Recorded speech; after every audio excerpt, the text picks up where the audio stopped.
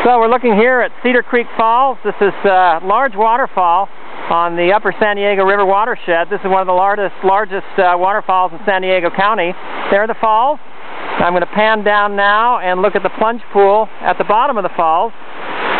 So I'm here now in uh, June 2005 and was last here in October 2004 and this entire plunge pool was completely filled in with sediment that had been deposited uh, in the plunge pool uh, from the uh, Cedar Fire last October, or two Octobers ago. I'm going to pan down here and uh, you can see all that uh, bed load uh, filled up in the channel.